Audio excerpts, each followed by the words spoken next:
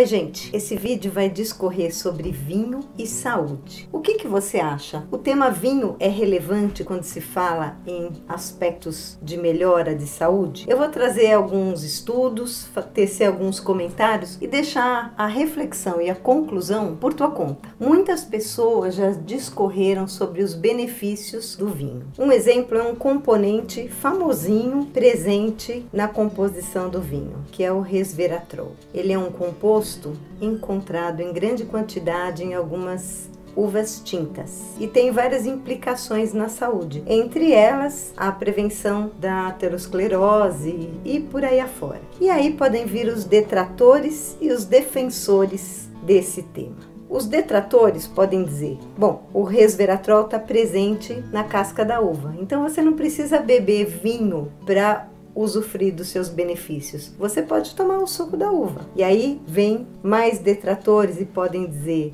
"Mas eu gosto de uva branca, eu gosto de vinho branco". E o resveratrol é encontrado em grandes quantidades nos vinhos tintos. Aí vem o defensor e diz: "Mas tem uma uva originária da Espanha na Catalunha que se chama Xarelo e possui grandes quantidades de resveratrol, uma uva branca". Ou seja, o assunto não vai esgotar, sempre vai ter quem critica, quem defenda. Eu não vou dissecar aqui aspectos científicos sobre muitos estudos, muitos artigos, muitos papers que foram feitos ao longo de todos os anos e principalmente na atualidade, mostrando os benefícios do vinho. Tem componentes compostos nos vinhos que são potentes antioxidantes, por exemplo, e têm sido identificados por apresentarem uma grande gama de efeitos bioquímicos e farmacológicos, efeitos esses que possuem propriedades anticancerígenas, anti-inflamatórias e antimicrobianas. Importante ressaltar que, em unanimidade de todos esses pesquisadores e autores, o consumo do vinho para esses benefícios deve ser regular e moderado.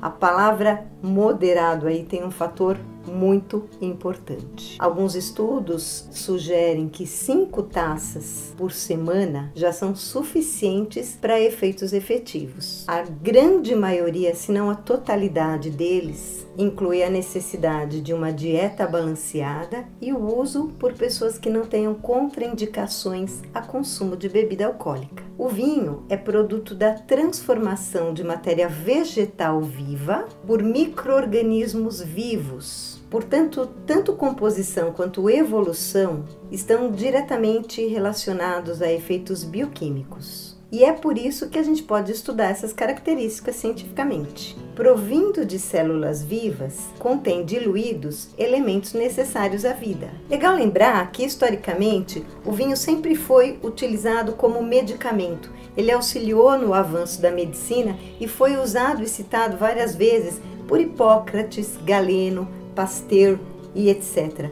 Muitos deles utilizavam o vinho de forma medicamentosa, antibacteriana, anti-infecciosa e etc. Isso foi vindo através dos tempos. Na década de 60, 70, o uso indiscriminado do álcool fez com que houvesse um alto índice de alcoolismo. As campanhas de saúde pública veicularam uma forte pressão sobre a necessidade de tomar cuidado com a bebida alcoólica. E isso acabou deixando as pesquisas um tanto quanto paradas. Mas atualmente, recentemente, cada vez mais estudos têm mostrado a importância do consumo regular e moderado do vinho para melhora da saúde humana. Evidentemente, tudo que a gente tem na vida precisa ser usado com parcimônia e com responsabilidade. A internet, que eu costumo dizer que é um exemplo disso, né? Ela é uma fonte inesgotável de informação importante, mas ao mesmo tempo ela é fonte de, de guerra, de uso extremamente negativo e prejudicial. Depende de como você vai utilizar os recursos que você tem no teu dia a dia. Entre as inúmeras vantagens do costume regular de vinho está o benefício do aparelho digestório e respiratório, o benefício cerebral, o aspecto positivo no aparelho renal, a ação antibacteriana na prevenção de úlcera péptica, o alívio do estresse, a diminuição do risco de câncer e o retardamento do envelhecimento, entre N outros fatores. A gente poderia aqui falar de,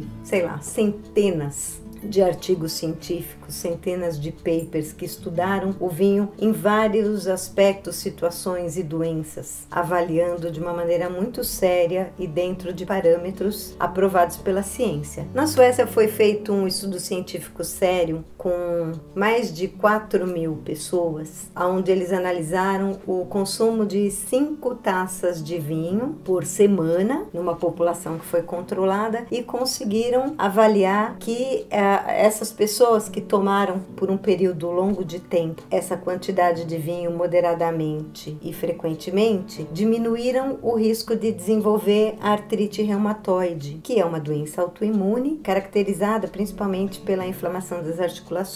Muitos estudos têm sido feitos na atualidade em relação à prevenção de câncer ou retardamento dos efeitos colaterais e etc. E chegou-se à conclusão de que houve uma redução da mortalidade em pessoas com problemas coronários.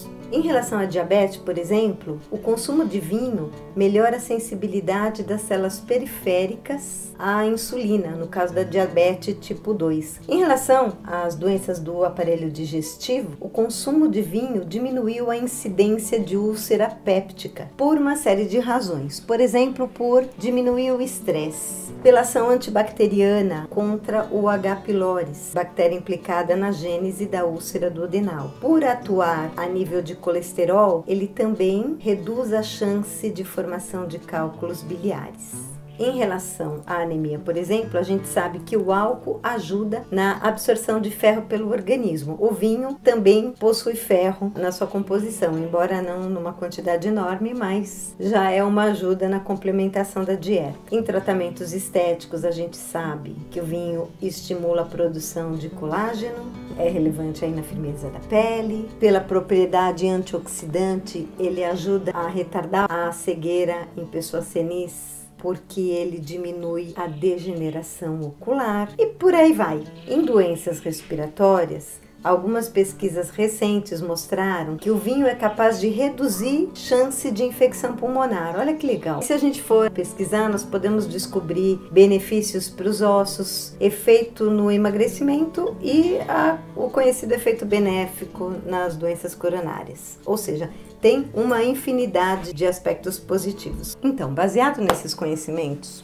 o homem sadio, inteligente, que é maior de idade, que pode responder saudável e plenamente pelos seus atos, pode decidir se o consumo do vinho é bom ou não para ele de posse de todas essas informações, o vinho faz bem para a saúde? E aí eu pergunto para vocês, o que é ter saúde? A Organização Mundial da Saúde define saúde como um estado de completo bem-estar físico, mental e emocional, e não apenas ausência de doença ou enfermidade. O que, que isso quer dizer? Que uma pessoa pode não ter manifestado ainda uma enfermidade fisicamente falando, mas ela pode estar tá doente espiritualmente, emocionalmente e aí, consequentemente, ela não está saudável. Portanto, uma pessoa saudável não é aquela que não está manifestando alguma deformidade física necessariamente. Mais saudável é a pessoa que tem um corpo e uma mente funcionando em harmonia com a situação de vida que ela vive naquele momento, com perfeito equilíbrio e bem-estar, para vivenciar tudo isso com disposição e vitalidade. E vivendo dessa forma, nessa harmonia, a gente não vai estar tá acrescentando anos à nossa vida, a gente vai estar tá acrescentando vida aos nossos anos. Então eu pergunto para você: você gosta de tomar vinho? Como você toma o vinho? Moderadamente? Ou para encharcar o cérebro e esquecer os problemas que você vem passando. A saúde mental é o resultado de um processo dinâmico de harmonia na interação do homem com o meio em que ele vive. Eu desejo para você uma boa reflexão. Descubra se para a tua saúde o vinho tem ou não trazido benefícios. Saúde!